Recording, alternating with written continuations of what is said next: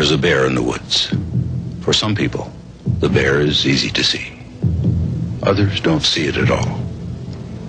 Some people say the bear is tame.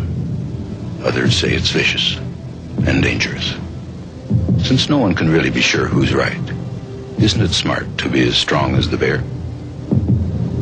If there is a bear. I'm Scott Johnson, and I approve this message.